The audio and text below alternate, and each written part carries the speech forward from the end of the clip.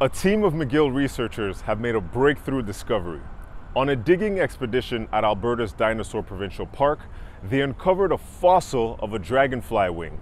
The university says the finding reveals a 30 million year gap in the evolutionary history of dragonflies. This starts to give us an insight into building this really complex um, ecosystem that was alive 75 million years ago. Hans Larsson says the discovery was made in 2023 by a McGill undergraduate. Larsson says the group was in an area cracking open rocks looking for plants. Larsson says, to everyone's surprise, one of those plants didn't look like a leaf, but turned out to be an insect wing.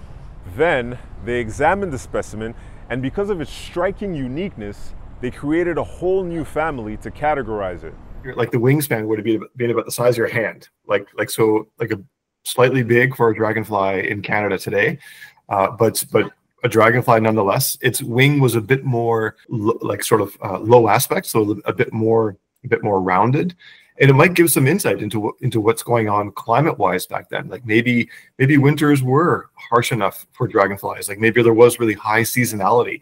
Larsson says the team called the species Cordualadensa acorni. It's named after John Acorn, a lecturer at the University of Alberta. He made significant contributions to the field of entomology.